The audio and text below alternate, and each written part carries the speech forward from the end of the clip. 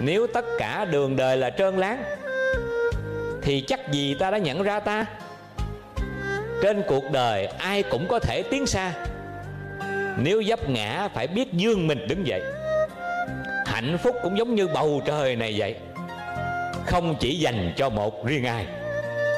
Dù đục, dù trong nghe Con sông vẫn chảy. Nghe cho kỹ nè. Dù cao, dù thấp thì cây lá vẫn xanh. Dù người phàm tục hay người tu hành, Cũng phải bắt đầu từ những điều rất nhỏ. Ta hay chê cuộc đời là méo mó. Sao ta không tròn tự nơi tâm? Đất ôm cho muôn hạt nảy mầm. Những chồi non tự vươn lên tìm ánh sáng. Chết rồi tiền của chẳng đem theo.